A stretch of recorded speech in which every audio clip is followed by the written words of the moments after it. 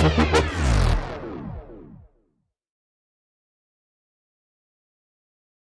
Glückwunsch an euch zum Sieg. Ich glaube, verdient auch in dieser Höhe.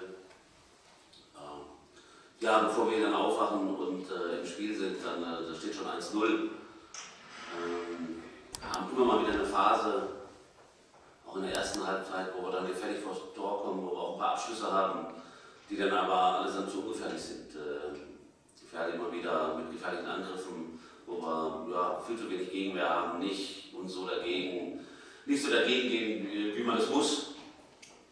Und äh, dann fällt kurz vor der Halbzeit das 2-0 und äh, naja, aus der Halbzeit kommen wir eigentlich auch ganz gut, haben nochmal direkt eine dicke Gelegenheit, äh, die auf der Linie geklärt wird, das hätte Anschluss sein können.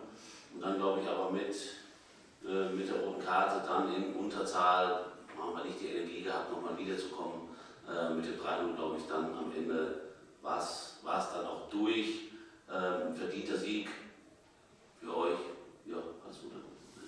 Ja, schon ziemlich ähnlich. Ähm, ich muss sagen, die Partie war echt so ein bisschen äh, fies, dass wir in der zweiten Minute von Vico direkt auf eine richtige Position die gelbe Karte ziehen. Äh, da habe ich echt schon so ein relativ schlechtes Gefühl gehabt, aber dann äh, mit Ron Valenzi sein Treffer war es natürlich ein bisschen einfacher und trotzdem hat man gesehen, was, was die Mannschaft hier für eine Klasse hat von, von Wien. Das heißt, sie wurden immer wieder gefährlich äh, in Aktionen, haben immer gut den Ball laufen lassen.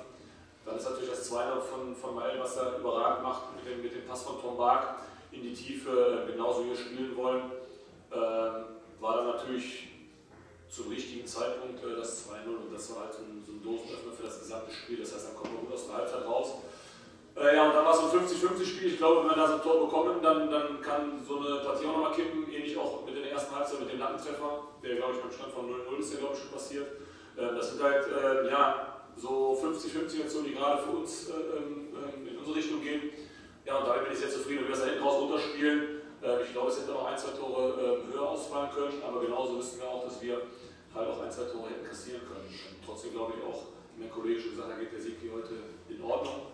Ähm, für uns heißt es auch, den Sieg können wir jetzt nicht feiern. Das war eine Pflichtaufgabe, die wir so machen mussten, weil wir im Abschießkampf sind. Das heißt, Klassenerhalt müssen wir alles unterordnen. Haben jetzt noch zwei wichtige Spiele. Das Gute ist halt, dass wir es in eigener Hand haben und das wollten wir auch niemals aus der Hand geben.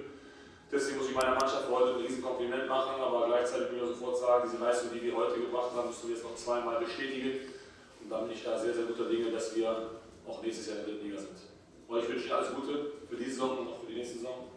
Ich hoffe, dass wir uns nächstes Jahr wiedersehen.